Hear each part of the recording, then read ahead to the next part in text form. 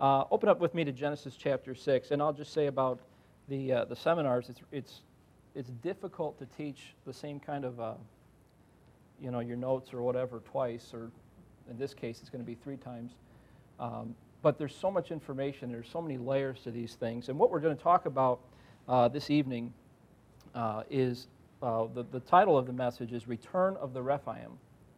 And I'm curious, just by show of hands, and if you're not comfortable doing that, don't worry about it. Do you know what a Rephaim is? Okay, so there's a couple. You have more time on your hands than maybe you, you, you thought. Um, the Rephaim is a, is a reference to giants in the Bible. You'll hear the term Nephilim. That's another, that's another uh, word that comes from a, a Hebrew word, uh, and it's translated giants in your Bible. But Rephaim is one of them. And so we're going to look at the, the giants in the Bible. And, and what I want to primarily focus on is, is how they came before the flood. The giants come before the flood. There's going to be giants that appear after the flood. And then there's some talk about whether or not they return. But, but in all of that, the thing I want you to keep in mind as we go through the verses is the spiritual wickedness uh, that is there behind it all. And that's, that's one of the things that we're going to emphasize uh, as we go through these verses. Now, my great fear is, you know, we're going to be going at a breakneck pace and we're not going to get it all in, but uh, we'll just have fun with it and, and uh, do the best we can. So, uh, so I appreciate you, you bearing with me. Um, let me also just say, and I think this is one of the reasons why a topic like this is pertinent, uh, there's a lot of talk about UFOs. Have you noticed that in the news? And I didn't really think about that. Richard mentioned that a few weeks back, and I and I was at work and I was putting some, we work at different car dealers, that kind of thing. I was putting keys away in one of the lunchrooms and the news was on and it was something about the government and UFOs and debriefings. And I thought that's kind of weird.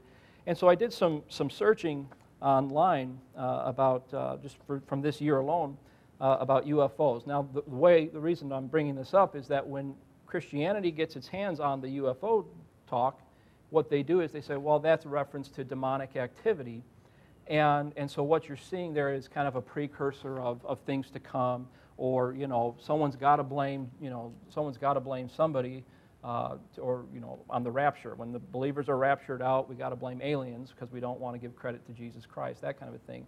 And let me just say that's nonsense. I mean, you know, I wouldn't uh, ascribe to that. But I, I found a couple of interesting news articles. This one is from May 22nd of this year.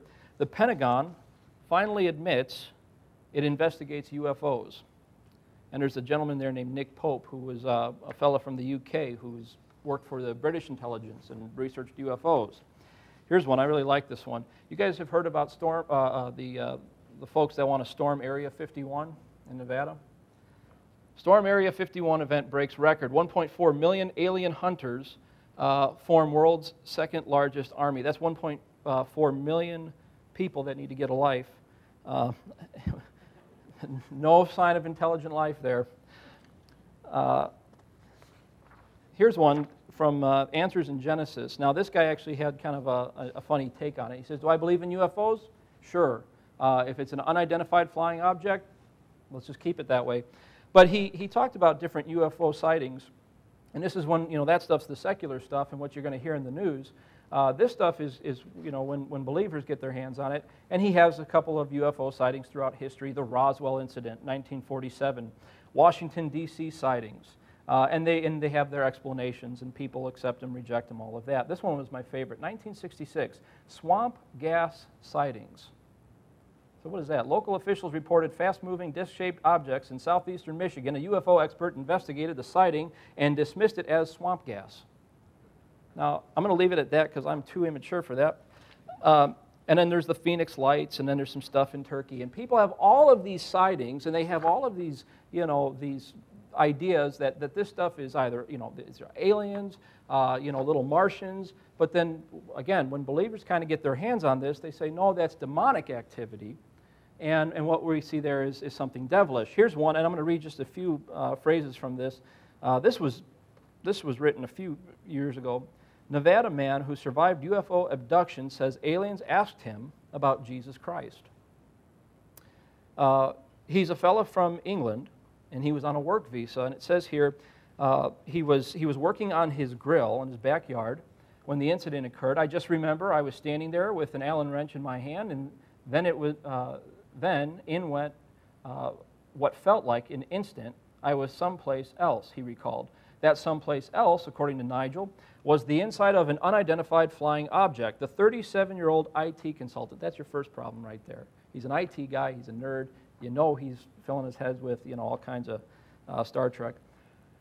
It gets better. He says uh, Nigel, who is an atheist, said he was too frightened to say uh, that he knew Jesus Christ. Oh, the idea here is they asked him about who Jesus Christ was.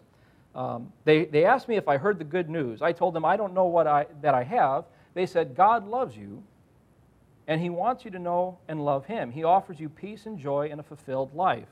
Nigel, who is an atheist, said he was too frightened to say so at the time and instead did his best to appear open to the message.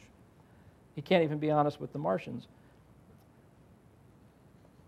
And then there's some other stuff. This is my favorite part in the story, and you got to appreciate this. To add insult to injury, Nigel Harshaw was noti- notified by the U.S. Department of State on Sunday that his temporary work visa had been revoked. He, was, he has until the end of the week to return to the United Kingdom. So, you know, I thought that was the best. You say something about aliens, and they say, well, you better just go home. So I got a kick out of that. Now, you're going to read all kinds of stuff like that uh, on the news or, or even in, you know, uh, Christian circles that talk about this stuff. And the big problem with it, uh, when you come to look at it, is that it takes away from what the Bible really says about demonic activity or devilish activity. Demons, that kind of a thing, isn't a Bible word, but, uh, but you know what I mean if I, if I slip and say that. Um, it's becoming more and more popular, and one of the things that happens is people are going to get their ideas from extra biblical sources. And so, just like any subject, what we, what we have a tendency to do, or what we should avoid doing, is we go to, we go to certain sources to understand the Bible that's not from the Bible. And so you're going to hear things like the book of Enoch and the book of Jasher and the book of Jubilees. And people get all this information from those things, from those sources, and, and they, they explain the Bible that way. And uh, that stuff is nonsense. It's pseudepigrapha, it's false writings. And so they say, well, Jude, the book of Jude, he quotes Enoch. So therefore, Enoch is okay to use. And Enoch is just uh, sanctified mythology. You know, we Christianize it or whatever, and we, and we make it okay, but that's all that that is. And so when we want to understand things about, you know, uh, supernatural activity uh, or angelic activity, and that's really what we're talking about, uh, the best thing to do is go to the Bible and go to the Word of God and, and deal with that.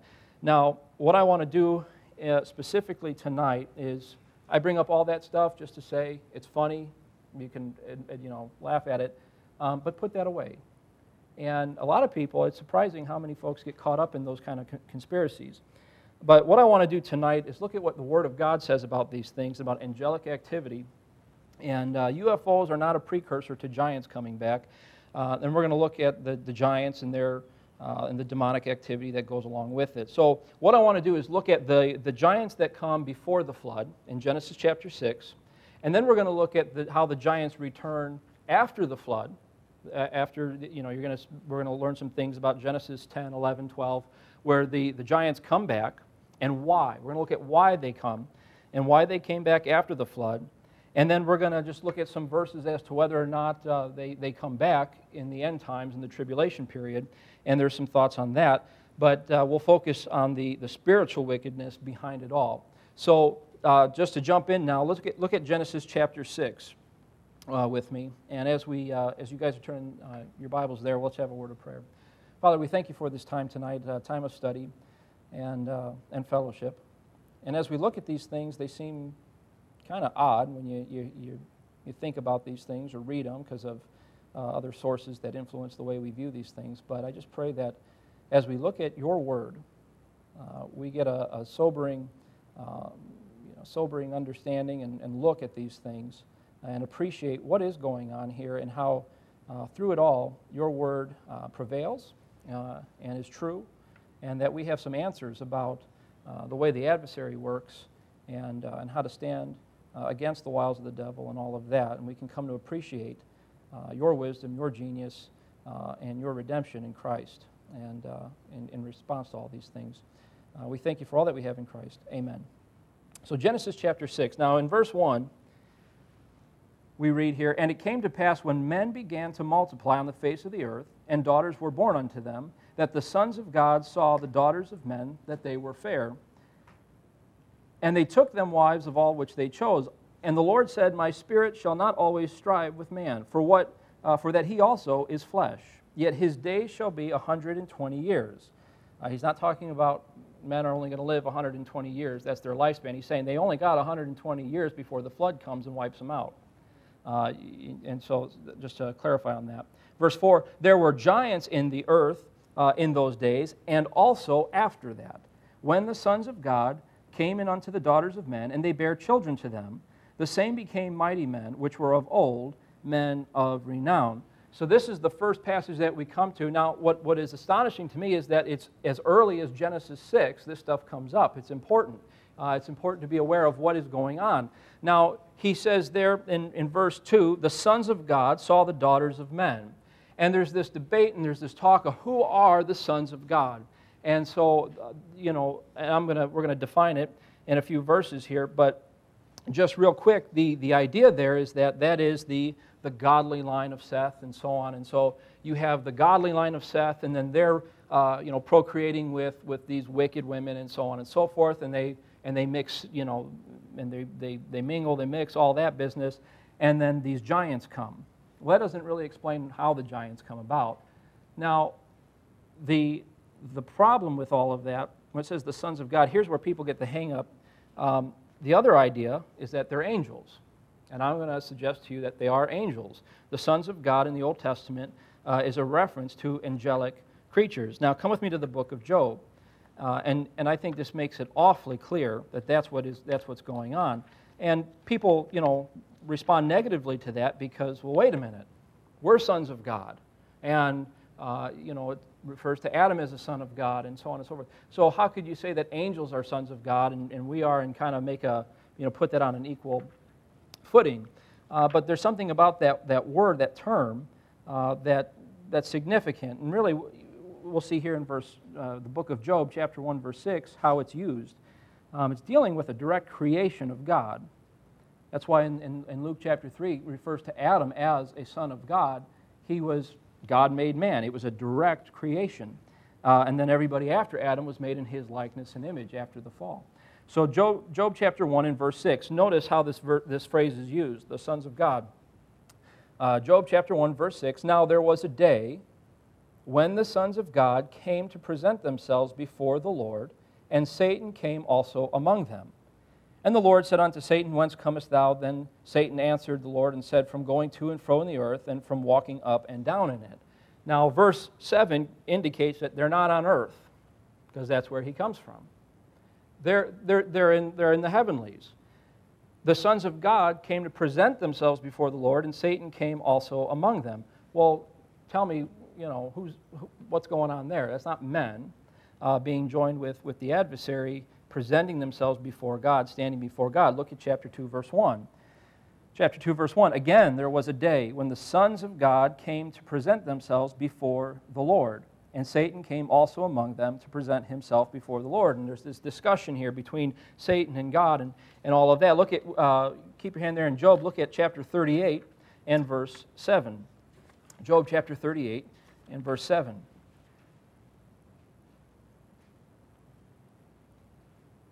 Now, chapter 38, verse 1, here's, here's God uh, uh, speaking to Job.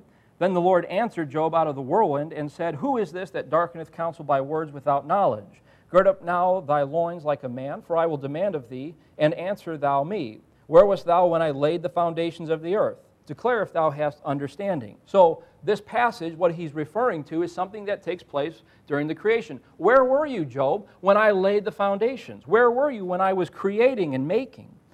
Uh, verse, uh, verse 5 Who hath laid the measures thereof, if thou knowest? Or who hath stretched the line upon it? Whereupon are the foundations thereof fastened? Or who laid the cornerstone thereof? When the morning stars sang together, and all the sons of God shouted for joy. If you're going to compare that to, to you know, and understand creation, that's before man ever shows up. So I think it's pretty clear from the book of Job. There are five references total, by the way, in the Old Testament to the sons of God, and, and it's these three in Job, and then those two back in Genesis chapter 6. They're angelic creatures.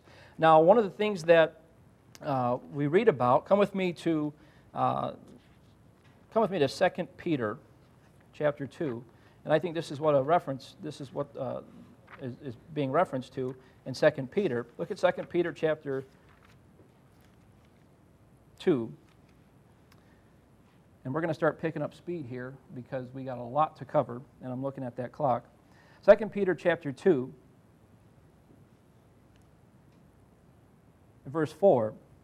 He says, For if God spared not the angels that sinned, but cast them down to hell and delivered them into chains of darkness to be uh, reserved unto judgment. Uh, God spared not the angels that sinned, but cast them down to hell and delivered them uh, into the chains of darkness to be reserved unto judgment. That reference there, I believe, is talking about Genesis 6. You have the sons of God, these angels that sinned. They rebel against God, they come to earth, and they take wives. Now, one of the objections, and one of the things I want to answer, because this is important when we get into how, you know, the demonic activity, the devilish activity in the tribulation, one of the things that comes up is, well, how does an angelic creature reproduce? Have you ever wondered that? Well, come on, there's got to be some, you're, you're lying, I know it. I hope, well, maybe not. Maybe I'm just messed up. But I've wondered that, I'll admit. If you're going to read Genesis 6 and say the sons of God took wives, and isn't that an interesting phrase? They took wives, and children were, were born to, unto them, and they were giants in the earth in those days. How, how is that possible? Because they're, they're spirit creatures. And, and what you see here is this is a rebellious act. Let me show you this. One of the, one of the objections that comes up is that angels cannot, uh, that cannot be a reference to angels because angels don't marry. Okay, uh, look, let's look at that passage. Matthew 22 and verse 30. Matthew 22, verse 30. One of the ideas there is, is uh, they, they, don't, they don't marry, and they're not given in marriage, and that's true. They're not given in marriage. Uh, and so therefore they can't procreate. And we're going to look at that. I want to address the issue as, as how, how they did that. Now, Matthew 22 and verse 30 he says, For in the resurrection, they, talking about the, the angels there in heaven, they neither marry nor are given in marriage, but are as the angels of God in heaven. Now look at the wording there carefully. They neither marry. Why not? There's nobody there for them to marry. Simple enough. And are not given in marriage. God doesn't give them in marriage. It's a one and done type of creation. They were not commissioned to be fruitful and multiply. He creates them, and they're there. It's a stationary type of thing. Now, this verse says, but are as the angels of God where? In heaven. When you come to Genesis chapter 6, that is an act of rebellion. Come back with me to Genesis chapter 6 and notice, notice the, the, the wording there. He says in, in Genesis chapter 6, verse 2, the sons of God saw the daughters of men that they were fair. You, obviously, you know, there are sons of men. The Bible uses the phrase the sons of men. It doesn't use that phrase. It's the sons of God. So you have these angelic uh, creatures. They saw the daughters of men that they were fair, and they took them wives of all which they chose. They didn't, they, this was something that was done forcefully and violently.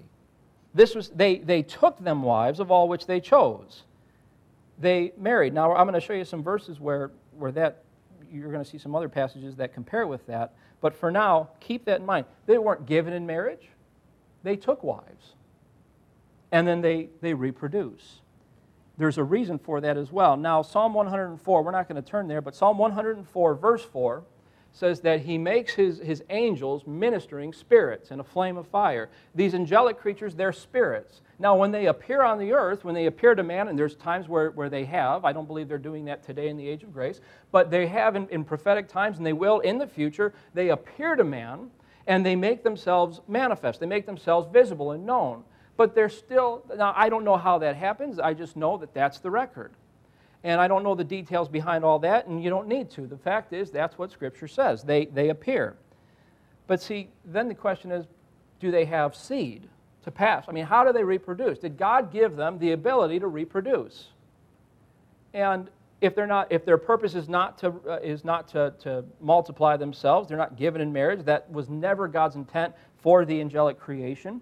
This is something that's done in rebellion. How would they, how would they do that? Now, there's different ideas, um, but I'll give you my, my understanding on the, on the matter. Um, come with me to uh, Mark chapter 5. Mark chapter 5. And there are a number of accounts like this, in the Gospels especially, where we read about devils and spirits possessing men's bodies.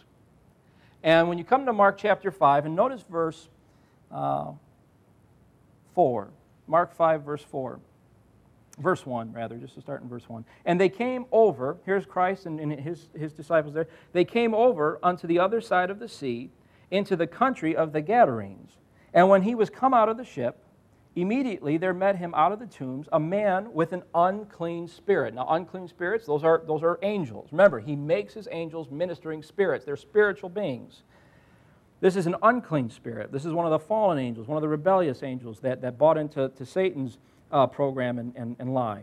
Now, verse 3 who had his dwelling among the tombs. This man had his dwelling among the tombs, and no man could bind him, no, not with chains because that he had been often bound with fetters and chains, and the chains had been plucked asunder by him, and the fetters broken in pieces, neither could any man tame him. So, what do you notice about this man in comparison to the rest? He, he's, he excels in strength, he's breaking chains. There's, there's things that he's doing that's not normal, and there's a physiological effect on that guy that, that, that, is, that is influenced by those unclean spirits. And, and what you, as you go through the passage here, notice uh, verse 6 when he, uh, But when he saw Jesus afar off, he ran and worshiped him, and cried with a loud voice, and said, What have I to do with thee, Jesus, thou Son of the Most High God? That's that unclean spirit speaking through that man. I adjure thee by God that thou torment me not, for he said unto him, Come out of the man, thou unclean spirit. And he asked him, What is thy name? And he answered, saying, My name is Legion, for we are many. And he besought him much that he would not send them away out of the country. And, and now there was, uh, was there nigh unto the mountains a great herd of swine feeding, and all the devils besought him, saying, Send us into the swine, that we may enter uh, them. And forthwith Jesus gave them leave, and the unclean spirits went out and entered into the swine and the herd ran violently, uh, violently down uh, a steep place into the sea. There were about 2,000, and, they cho- and there they were choked in the sea. So there's some fascinating things going on here, and then here, the few that I want to highlight. One, they can possess a man's body. Two, they can possess animals. They, they can inhabit physical bodies. Now, back in Genesis 6, look at Matthew 12. What I think is going on Psalm 103, verse 20 says that, that his angels excel in strength. Psalm 82, verse 1, and if you're taking notes, you can, you can write these down. We're just not going to have time to go through them. Uh, but Psalm 82, verse 1, it talks about the Lord standeth in the congregation of the mighty, and he judgeth among the gods. That's talking about that angelic, you know, that spiritual or heavenly parliament, whatever you want to describe that as, that government and that meeting place, when they present themselves to God, that's what's going on. That's that congregation he's talking about in Psalm 82. And he refers to them as mighty. And, they, and, and they're referred to as those who excel in strength. Now, look at Matthew chapter 12 with me. Grab Matthew chapter 12 and also grab the book of Jude in verse 6. The book of Jude, verse 6, and Matthew chapter 12. There's an interesting statement here that the Lord makes. Uh, Matthew chapter 12, and notice verse 43. Matthew 12, verse 43. When the unclean spirit is gone out of a man, he walketh through what? Dry places, seeking rest, and findeth none. Then he saith, I will return into my house from whence I came out. And when he is come, he findeth it empty, swept, and garnished. And, he go, and then goeth he and taketh himself uh, seven other spirits more wicked than himself, and they enter in and dwell there. And that last state of that man, the man that the spirit was cast, the demons cast out of, is worse than the first. Even so shall it also be unto this wicked generation. So, who is, what is the unclean spirit's house? It's a man. He's cast out. And the verse says, and, I, and I'm just going to throw this out there. You, you look at it, you, you chew on it, study it, all that. He says he walks around in dry places. And I said, why would he say dry places? Now, there's a number of ways you could take that, I guess. But remember what happens, we're going to see this in Genesis chapter 6. God floods the earth, and he kills all of the animal creation with it, uh, except for those that are on the ark. Two by two, the unclean, and then seven, the, the clean. Here he says he, walks, he walketh through dry places, and he, he's looking to return into his house. There's something here where, uh, look at Jude, and this will explain it. Do you ever wonder why did God, you know, God could have wiped out mankind back in Genesis 6 a number of different ways, but he chose to do it with a flood.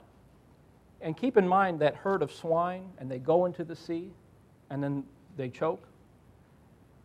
There seems to be some connection with water and devils and spirits. And I don't necessarily know what that all is, is all about, but they could possess animals.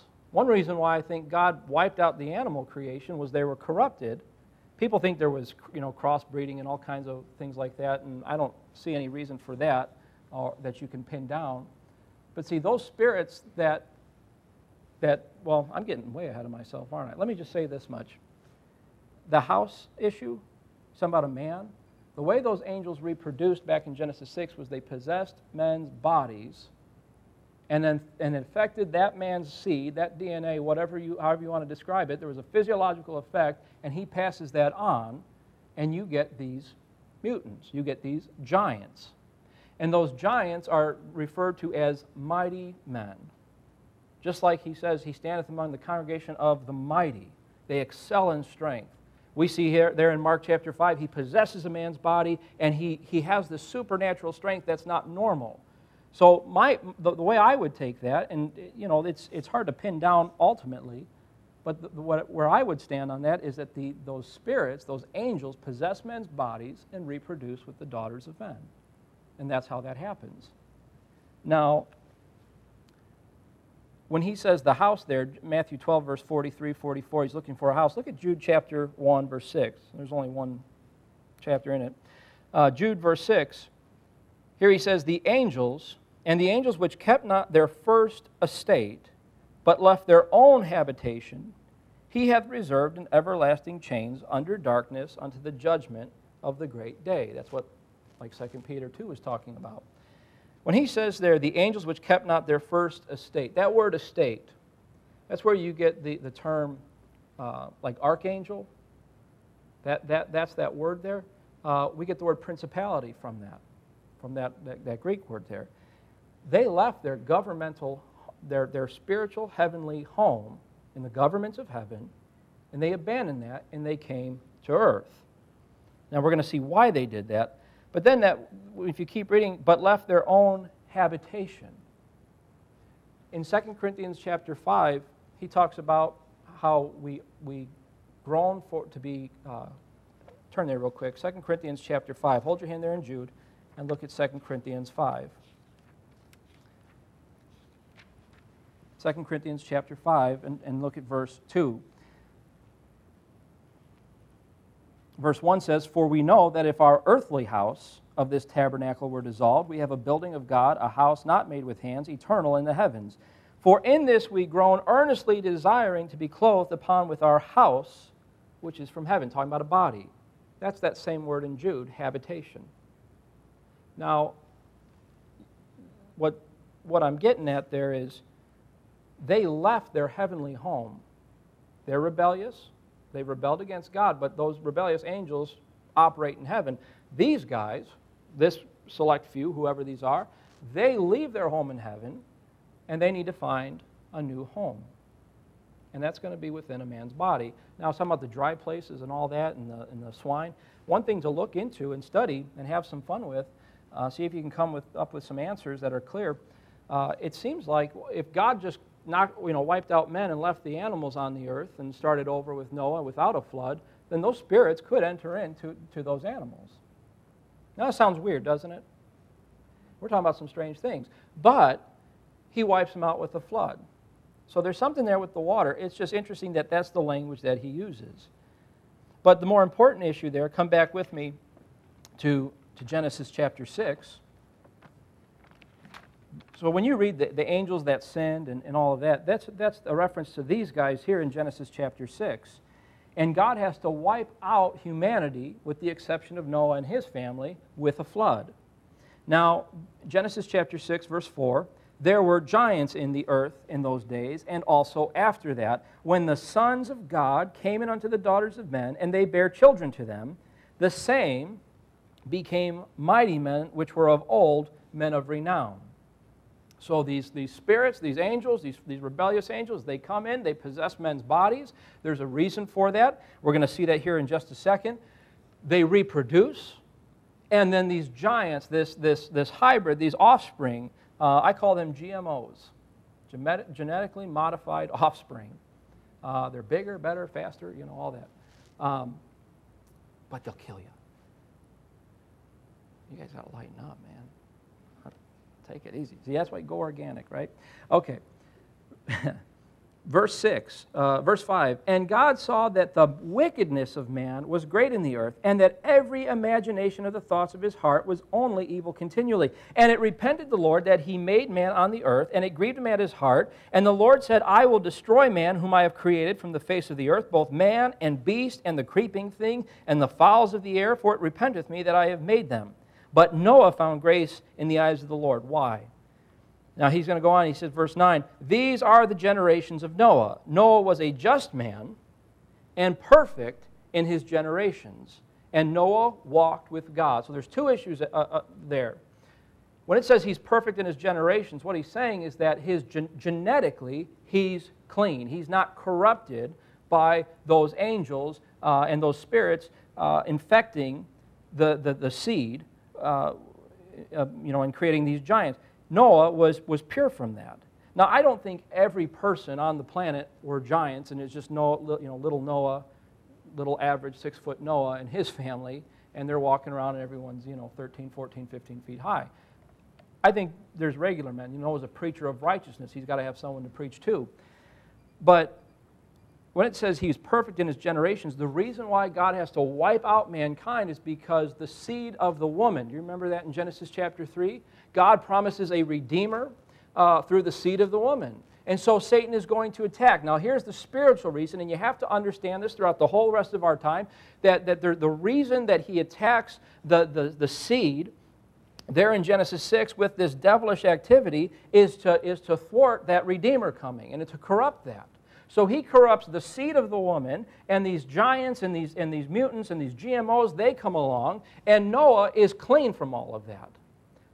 One of the reasons why he's clean is because it says Noah was a just man. He was a justified man and perfect in his generations. So he wasn't physically contaminated, but he was right with God. He had a righteous standing before God. And look, these unclean spirits, they can't, they can't influence you, or, or I should, maybe I should say it this way they can't possess you, at least in these contexts. Uh, they can't uh, possess a righteous man, at least from what I'm seeing there. And it says, and Noah walked with God. And Noah begat three sons, Shem, Ham, Japheth, and so on and so forth. So the first issue there is Satan. Uh, look at Genesis chapter 3, verse 15. What he begins to do. Uh, and, I, and, and one of the things I want to emphasize here is that God reveals some truth and Satan responds. And you're going to see that throughout all of Scripture, uh, past, present, future. That God is going to reveal some information and then Satan responds and, and, and, attacks it. And Satan's goal in, in any context is to take what God uh, wants to use and to corrupt it. God had a purpose for man on the earth. Satan comes, he, he beguiles, and he lies, and he, he introduces the, the, the, the temptation and that sin, and he corrupts that original use for, for why God, God created man. He does that with the nation Israel. We're going to see that. He does it time and again. He takes what God wants to use and corrupts it. Now, look at Genesis 3, verse 15. Verse, uh, verse 14 says, And the Lord uh, God said unto the serpent, Because thou hast done this, thou art cursed above all cattle, and above every beast of the field. Upon thy belly thou, uh, shalt thou go, and dust shalt thou eat all the days of thy life. And I will put enmity between thee and the woman, and between thy seed and her seed. Notice, so he's got a seed, and she has a seed. And her, and her seed, it shall bruise thy head, and thou shalt bruise his heel. Now we understand that the seed of the woman ultimately turns out to be the Lord Jesus Christ. What Satan's seed is going to culminate into that, that, that Antichrist in the, in the tribulation. He attacks the seed of the woman. The way he does that is by polluting the daughters of men and, and making it uh, corrupt. So we read here in Genesis 6. Come back with me to Genesis 6 because now we're going to get into why they came after the flood. Genesis chapter 6, the first phrase there, there were giants in the earth in those days, and also after that. So before the flood, and also after that. How? When the sons of God came in unto the daughters of men, and they bare children to them. They do the same thing. Now, some people say, well, it didn't happen again. Uh, it was, you know, some dormant gene through one of the one of the son's wives, and she carried it, you know, that way. But I think verse 4 makes it pretty clear how it happened again. There were, there were giants in the earth in those days. Also, after that, when the sons of God came in unto the daughters of men. That's pretty simple. So I would, I think from that verse, it makes it clear that they come back again. Now, if you're going to understand the giants coming back, you guys are all familiar with Goliath, right? And Goliath has brothers. We're going to see that. There's Og, king of Bashan, giants like him in the book of Deuteronomy. And Moses, he goes up against him and, uh, and, and wipes him out in that territory there, the land of the Amorites. And you hear just, there's, there's giants here and there, and you kind of have this idea that they're not really, there's not many of them. And what you're going to find is that there are whole nations, whole tribes of these guys. And we're going to see some specific details as to why they came back. So the first time they come is to corrupt the seed of the woman. The second time they come back, the purpose of that is to corrupt uh, and to, to uh, it's an attack against the seed of Abraham. Now notice Genesis chapter 10. If you're going to understand why the giants come back after the flood, because what happens after the flood? Noah and his sons, they, they fruitful and multiply. His sons, they, they bear children. Nations are formed, they, they're developed all of that. In Genesis chapter 10, he's going to talk about the generations of, of Shem, Ham, and Japheth. Now, come with me to verse 6. Uh, and the sons of Ham, Cush, uh, the sons of Ham, Cush, Mizraim, and Put, and Canaan. Now remember, Canaan is cursed in chapter 9. And the sons of Cush, Seba, and Havilah, and Sabtah, and, and Raamah, and Sabtechah, and the sons of Raamah, Sheba, and, and Dedan. And Cush begat Nimrod. He began to be a mighty one in the earth. He was a mighty hunter before the Lord, wherefore it is said, even as Nimrod, the mighty hunter before the Lord. And the beginning of his kingdom was Babel, and Erech, and Akkad, and Calneh in the land of Shinar. That's Babylon, okay? Now come down to verse 16. Or actually, look at verse 13 here. Uh, and Mizraim, one of the, the other son of Ham, begat uh, Ludim and Anamim and Lahabim and Naphtuhim and, and all these other guys. One of, you'll see there, he talks about Casluhim, verse 14, out of whom came Philistim. That's the Philistines. Now, verse 15, and Canaan begat Sidon, his firstborn, and Heth, that's where you get the Hittites, and the Jebusite, and the Amorite, and the Girgasite, and the Hivite, and the Archite, and the Sinite, and the Arvadite, and, the, and, and all these ites, right? And you go through these genealogies and you read them, and the first frustration you have is one, I can't pronounce their names. and, and I don't want to read it because I sound like a, you know, a dope. And you know, you read through genealogies and you say, how boring. But actually, it come, turns out when you go through some of these things, it, those are little markers to help you identify other things in your Bible. So he talks about the, the Jebusite and the Amorite. You know who the Amorites are? That's Og, the king of Bashan, he's a giant. You're going to see here the, uh, the Girgasite, the Hivite, the Archite, the Sinite, and all of these guys. What you find there is that some of these, I'm not going to say all of them, some guys say all, but we know that some of these fellows are giants. We know the Amorites are. Look at chapter 12. And I'll show you what, what, what's going on here. Uh, Genesis chapter 12, verse 1. Now the Lord had said unto Abram, so here's what happens Genesis 10, Genesis 11, these nations are being formed. And, and we're, what you're going to see here is that the only giants that you can identify in, in, in the Bible after the flood come through Canaan's seed.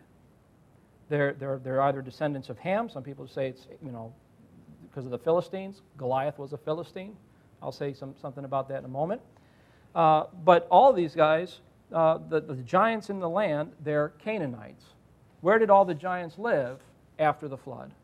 In the land of Canaan. Genesis chapter 12, here's why.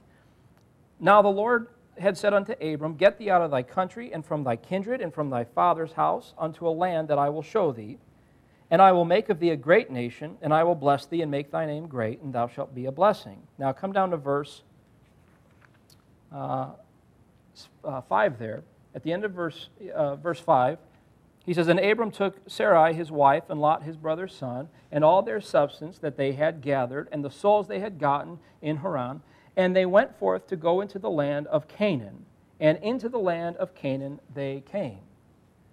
Now, Abram goes into the land of Canaan, and we're going to see who's, who's there. Look at chapter 14, Genesis chapter 14, and verse 5. And what you have here is this battle, this war between these Gentile kings and these nations here. And this all takes place there in that land, that territory. Uh, verse 5 And in the 14th year came uh, Chedorlaomer and the kings and that were with him and smote. Now, here's the word that you get, or one of the words that you get giants from. And smote the Rephaims in Ashteroth Karnaim. That turns out to be that territory of Bashan where, where Og is from. We're going to see that and the Zuzims in Ham, and the Emims in Shaveh Kiriathaim, and the Horites in their Mount Seir. And you say, who are all these guys? We're going to see a verse real quick. The Rephaims, the Zuzims, the Emims. I sound like I'm reading Dr. Seuss, right? You say, you know, these guys are all giants. And they're all in that territory that Abraham uh, is to possess in essence, what, what is happening here is Satan is, is planting these, these, giant, uh, these giants and these nations in the land of Canaan because that's the land that he promised to Abraham. Now, come with me to Genesis 15, verse 18, and you'll see it here again. In the same day, the Lord made a covenant with Abram, saying, Unto thy seed, notice the seed, okay? Unto thy seed have I given this land, that land of Canaan, from the river of Egypt and from the great river, the river Euphrates, the Kenites and the Kenizzites and the Kadmonites, and the Hittites and the Perizzites and the Rephaims and the Amorites. Those guys are giants, so I know that much. And the Canaanites and the Girgashites and the Jebusites, all of Canaan's sons. And then there's three more there in, in, in verse 19 all of these guys are in that land that Abraham's to possess, and many of them are giants.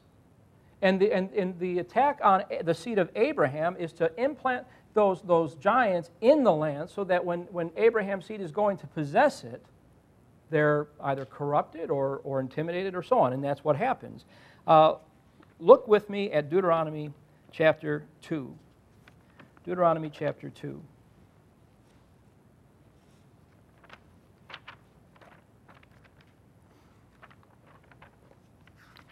Now, Deuteronomy is, is a book where Moses rehearses the law to a new generation that's going to go in and possess that land. They've been wandering in the wilderness for 40 years. They're about to go under uh, uh, into the land under Joshua's leadership. Now, Deuteronomy chapter 2, notice what happens here. He's preparing them. Deuteronomy chapter 2, verse 1 Then we turned and took our journey into the wilderness by the way of the Red Sea, as the Lord spake unto me, and he compassed Mount Seir many days. And the Lord spake unto me, saying, Ye have compassed this mountain long enough, turn you northward, uh, northward, uh, rather, and command thou the people, saying, Ye are to pass through the coasts of your brethren, the children of Esau, which dwell in Seir. Now that's, if you were to look on a map and see Israel, that's going to be the southern, that's going to be south of, of, of, the, uh, of that land. Edom, all of that. And they shall be afraid of you. Take ye good heed unto yourselves, and meddle not with them, for I will not give you their land. No, not so much as a footbreadth, because I have given Mount Seir unto Esau for a possession. Come down to verse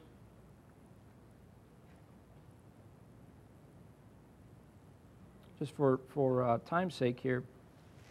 Um, look at verse 10. The Emims, remember them in Genesis 14? They dwelt therein, in that land. Or actually, he's talking about, uh, he talks about the Horites and the Horims in, in the land of Esau. Here he's talking about the land of Moab and the land of Ammon. That's Lot's two sons and, and, and their, their children. Verse 10, he says, uh, talking about the Moabites, the Emims dwelt therein in time past, a people great and many and tall as the Anakims. Anakims are giants, uh, which, verse 11, which also were accounted giants as the Anakims, but the Moabites call them Emims. I'm not going to take the time, read through Deuteronomy 2. We just don't have the time to go through it. But he talks about the, the Emims, the Horims, the Horites, that's what the reference to. And then another group of people called the Zamzummims. Some weird terms. But, and then he, and he talks about the, the, uh, the Anakims. All of these guys are giants, and they surround that landmass and that territory so that when they come in to possess that land, Moses is warning them these guys are there.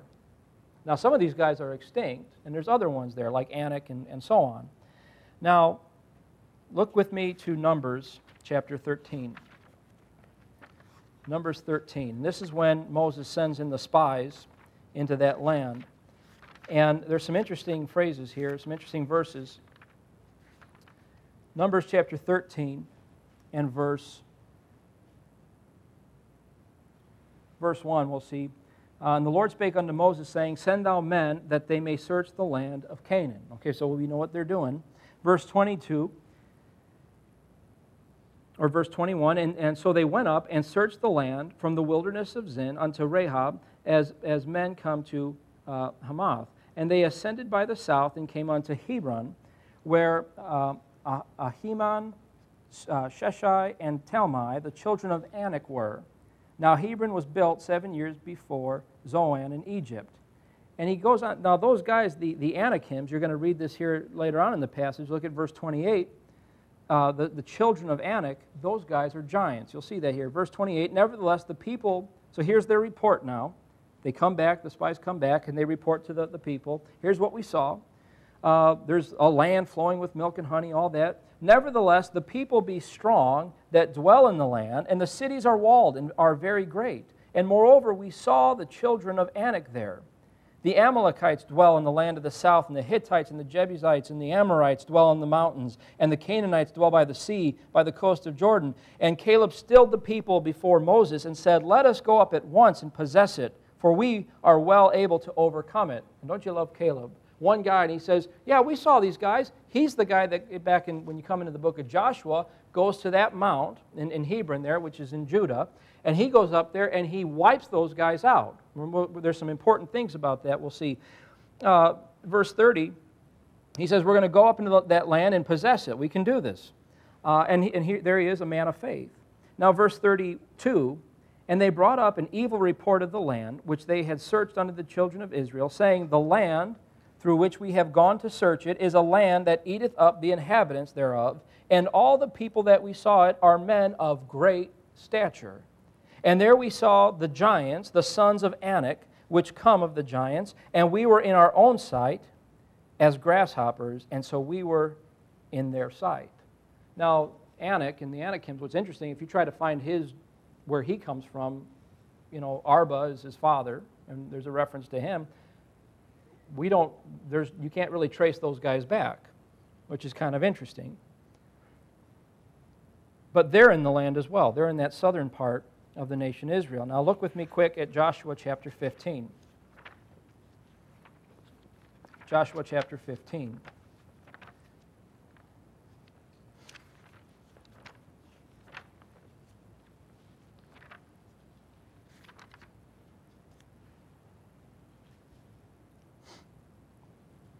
And notice verse 13.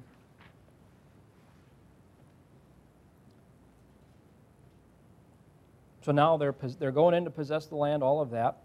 And unto Caleb, the son, verse 13, of, of Jephunneh, he gave a part among the children of Judah, according to the commandment of the Lord, to Joshua, even the city of Arba. That's Anak's father, uh, the father of Anak, which city is Hebron. And Caleb drove thence the three sons of Anak. So he comes in there and he wipes them out. Now, the one verse I want you to see, you're there in, in Joshua 15. Look at Joshua 11. And here's what happens to the Anakims, these giants. Verse 21. And at that time came Joshua and cut off the Anakims from the mountains, from Hebron, from Debir, uh, from Anab, and from all the mountains of Judah, and from all the mountains of Israel. Uh, Joshua destroyed them utterly with their cities. So they're wiping out these Anakims, these giants. Now, verse 22 there was none of the Anakims left in the land of the children of Israel, only in Gaza, in Gath, and in Ashdod there remained. Who are giants that are from the land from Gath? Remember Goliath? He's from Gath. His brothers, they're that, from that territory. Now, he says, Goliath says, I'm a Philistine. I'll give you just something to consider. I think as a citizen, he's a, he's a Philistine. But this guy is a descendant of, of the Anakims because that's where they disperse. So Joshua drives them out and, they, and they, they find refuge, and there's just a small remnant of these guys. And that's where Goliath comes from. Now, there, some of these guys are still in the land, but you can see that Israel is just wiping them out. Now, we got to move on to the last point and, and kind of come to a close here. But I just want to give some information about these giants in, in the land there. So we read about the Rephaim, the Emims, the Zuzims, the Horims, the Zamzummims, the Anakims, the Amorites. Um, write this down. We don't have time to look at it. Amos chapter 2, verse 9. Amos 2, verse 9. He talks about the Amorites and they, had, they were of great stature, tall as, as cedars and strong as oaks. These were guys that, these were giants, the Amorites. They're descendants of Canaan. Now, look at Deuteronomy chapter 3. Deuteronomy chapter 3. Now, this is, again, there's a battle that takes place before Joshua takes them into the land, and this is against the king of Bashan, Og. That's a great giant name, isn't it? For only Og, Deuteronomy 3:11, king of Bashan, remained of the remnant of giants. Behold, his bedstead was a bedstead of iron. Is, not, is it not in Rabbath of the children of Ammon? Nine cubits was the length thereof, and four cubits the breadth of it, after the cubit of a man. So you figure, you know, you have 18 inches or so times, uh, times 9 or, in, or times 4, and you know, whatever the dimensions are, I haven't written them down, but he's a big guy, about 13 some feet tall. So, you know, some people, again, you know, people like to take the pseudepigrapha, the book of Enoch and the book of Jasher, and they, and they say these giants were 30 feet tall or 100 feet tall. And, and that's just, again, sanctified mythology. See, you got to sober up a little bit with, with the doctrine. These are large men. These are, these are violent uh, uh, offspring. These are people that are constantly involved in warfare.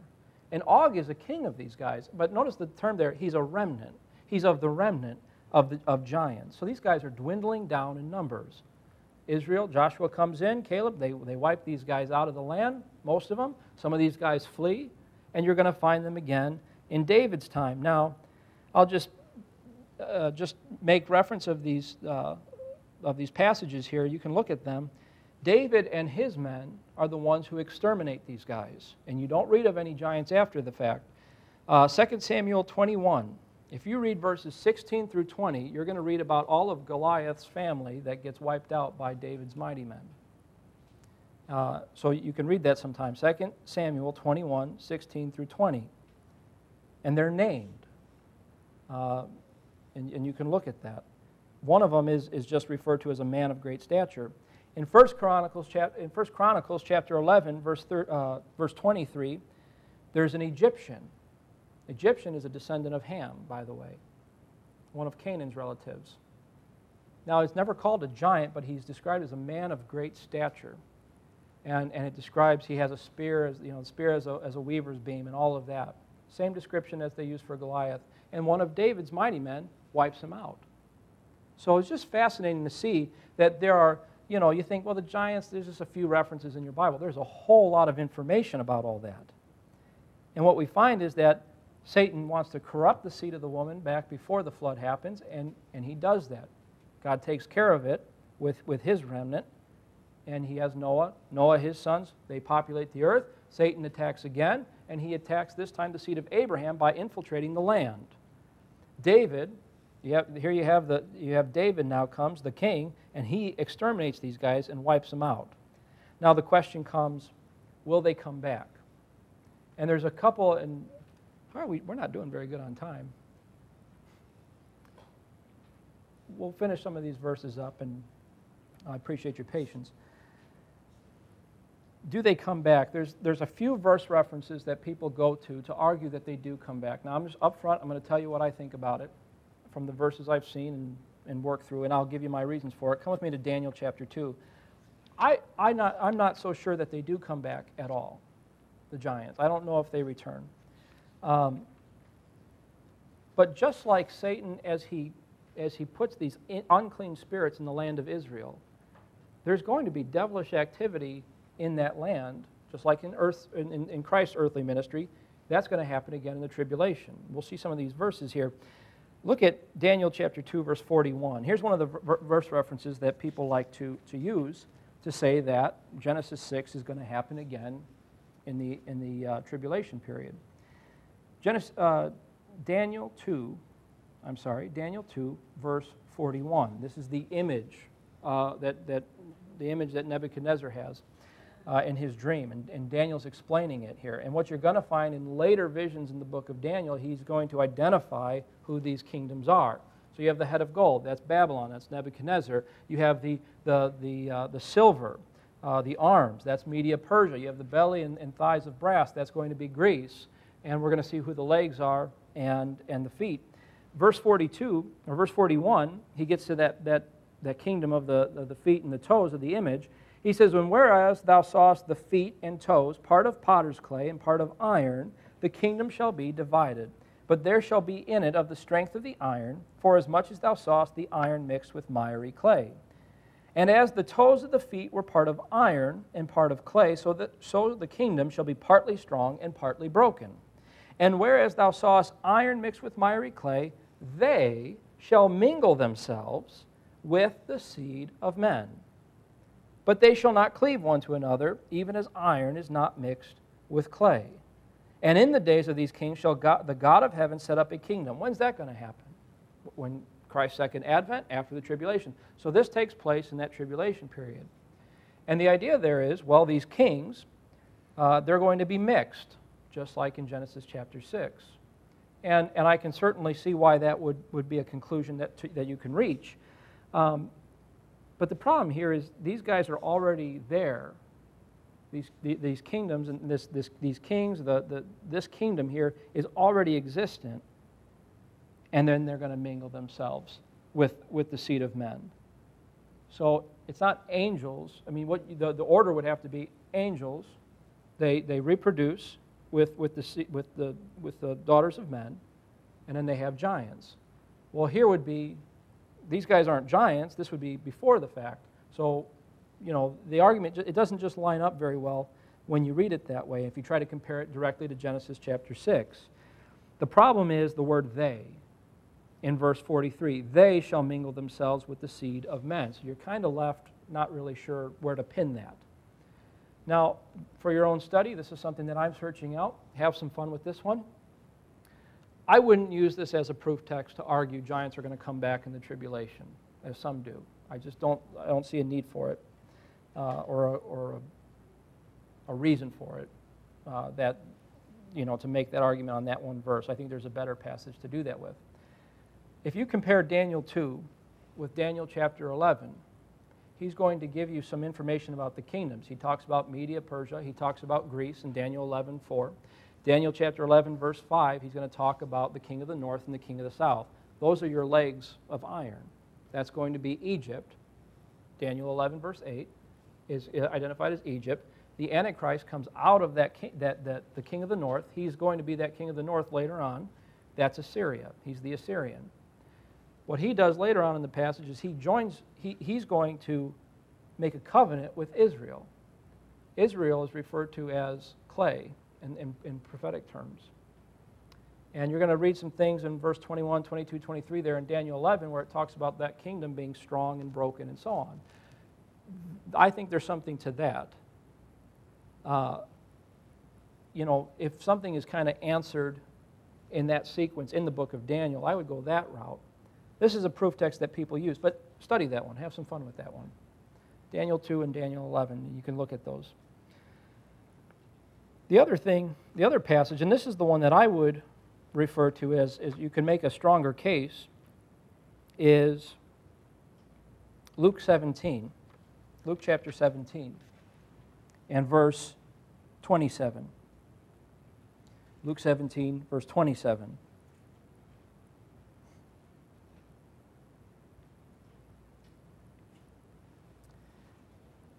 Or verse 26, rather.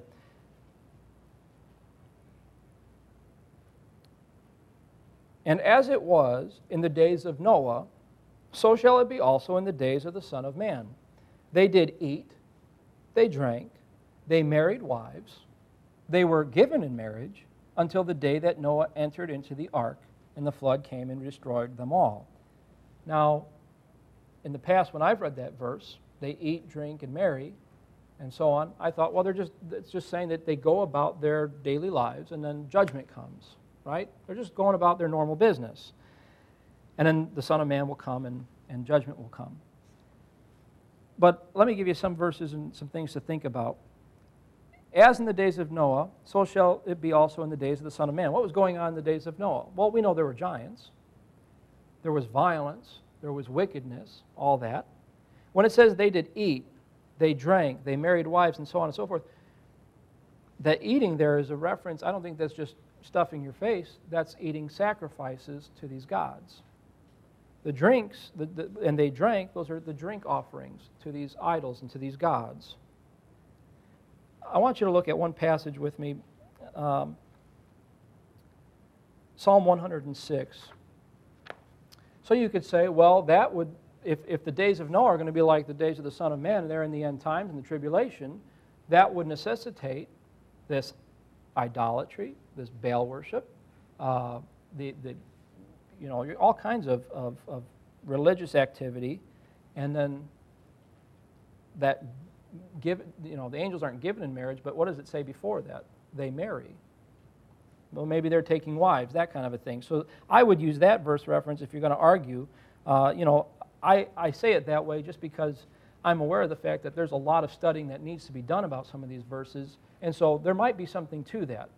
I'm personally just not totally settled on that, but that's a good verse to, to start with. I think better than the Daniel 2 passage.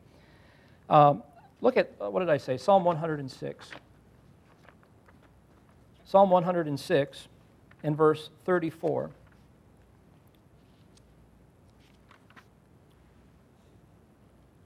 When he talks about the nation Israel, and he kind of gives, what he's doing is he gives a history of the nation Israel and, and what's to come in their captivity and all of that, their, their rebellion to the statutes and commandments that they were given of God. Now, notice verse 30, uh, verse 34.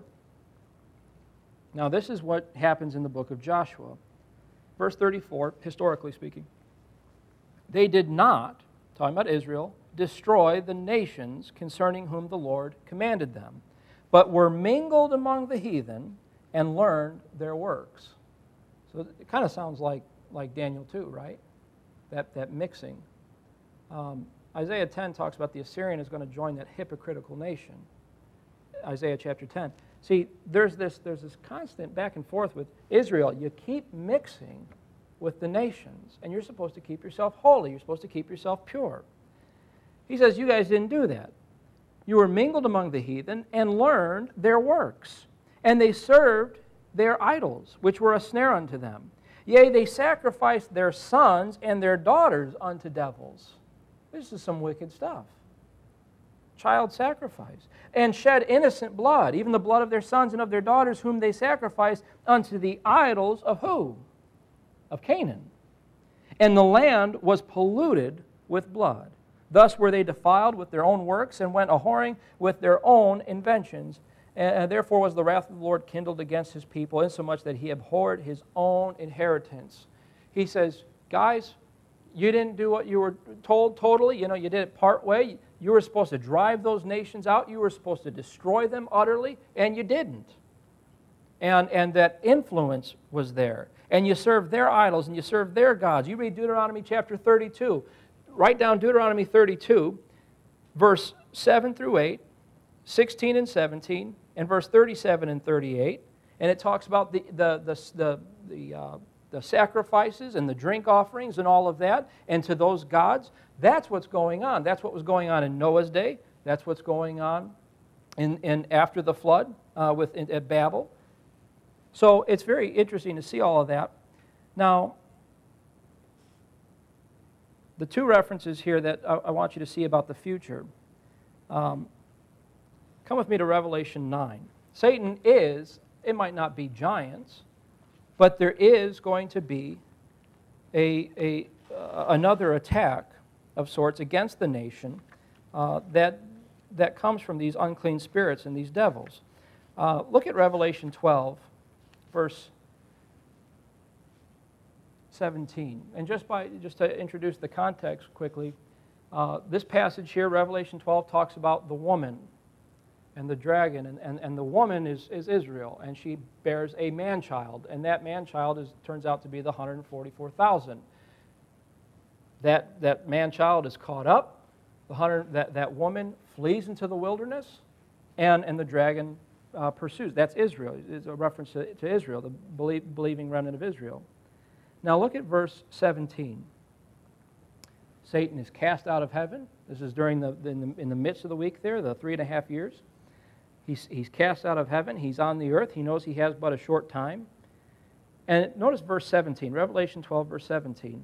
And the dragon was wroth with the woman and went to make war with the remnant of her seed, which, which keep the commandments of God and have the testimony of Jesus Christ. You read Revelation 9. There's all kinds of demonic activity that's going to be going on those days. And just isn't it interesting how he refers to that uh, in verse 17? He was wroth with the woman and went to make war with the remnant of her seed. There he goes, attacking the seed again. It's just fascinating to see all of that. He, he did it in Christ's earthly ministry. You had all these unclean spirits. And the reason they're unclean spirits is because Jesus Christ is there. He's their Messiah. He's their king. He's going to bring in the kingdom and institute that new covenant with the nation Israel. And, what he's, and what's going to happen with that new covenant, he's going to make their heart clean. So Satan possesses the nation Israel with these unclean spirits to contaminate, to connect, contaminate his people so that he can't use them and redeem them. So it, there's just some really interesting things to see there uh, with, with all of that. We need to close and finish, and I appreciate your guys' patience. There are a lot of verses we can go through to, you know, kind of expound on these things, and we just don't have the time. But come with me to one more passage, 1 Peter couple more passages. I won't push it. 1 Peter chapter 1. The Word of God is described as, as seed. And now this is Peter, and he's, he's talking to uh, Israel here. But there's a principle here that you have to see. 1 Peter chapter 1 and verse 23. He says, Being born again 1 Peter 1, being born again not of corruptible seed, but of incorruptible, by the word of God, which liveth and abideth forever. For all flesh is as grass, and the glory of man as the flower of grass. The grass withereth, and the flower thereof falleth away. But the word of the Lord endureth forever. And this is the word which by the gospel is preached unto you. Now, just appreciating its context, but I want you to see there, he says, being born again not of corruptible seed, but of incorruptible. It's the Word of God, it's the Word of life. And, and one of the things that, that Satan aims to do is to corrupt the life source. And look, if he can corrupt the message, so let's you apply it to today in the dispensation of grace. Look at 2 Corinthians chapter 11. Satan's goal, just like back there in Genesis 6, I'm going to corrupt. God reveals some truth. The seed of the woman is, gonna, is going to bruise your head. Okay, so we're going to attack the seed of the woman. Then the seed of the woman becomes the seed of Abraham, and he's going to possess that land where God's going to establish his kingdom. So Satan says, okay, I'm going to attack the land and corrupt the land. God's going to, he's going to redeem his people, the nation Israel, and, and, and their Messiah is going to come and show up. And so he's going to, he's going to pollute them with those unclean spirits and, and, and, and his, uh, and the apostasy there at work. He's going to do it again in the tribulation. He's going to attack the seed that, that God there is, is trying to use. What he does today is he attacks, one, he attacks the Word of God. He tries to corrupt the Word of God. If, you, if you're not sure that your Bible, the, the Bible that you use is one that's without mistakes, you need to get a Bible that's without mistakes. And you only find that in the King James Bible. People want to, you know, it's hard to, it's hard to corrupt something as simple as the gospel, right? And so people say, well, these other Bibles are fine. The gospel comes across clear. That's a testimony to how simple the, the gospel is, not how great that Bible is. But Satan, he attacks the Word of God, he corrupts the Word of God, and he corrupts the message of God's Word. I just want you to see that the spiritual issue behind it. So whether it's giants or unclean spirits or whatever, all that stuff's going to be there, and, it, and it's real, it's there. But the spiritual issue there is that he's attacking God's people and trying to corrupt it that way. Uh, 2 Corinthians chapter 11 he says, Would to God you could bear with me a little in my folly, and indeed bear with me, for I am jealous over you with godly jealousy. For I have espoused you to one husband, that I may present you as a chaste virgin to Christ. Interesting language? I want you to be pure. I want you to be pure in your doctrine. I want you to be pure in your understanding. I want you to, to understand who you, you know, I want you guys to understand who you are in Christ and, and, and, and, and what God's teaching you today. Verse 3 But I fear lest by any means, as the serpent beguiled Eve through his subtlety, so your mind should be corrupted from the simplicity that is in Christ. For he that cometh preacheth another Jesus, whom we have not preached. Or if ye have received another spirit, which ye have not received, or another gospel which ye have not accepted, ye might well bear with him. For I suppose I was not a whit behind the very chiefest apostles and, all, and so on and so forth. You see, there he says, Don't be corrupted from the simplicity that's in Christ. One more passage, 2 Corinthians chapter 6. Look, Satan tries to corrupt your gospel, the gospel of grace.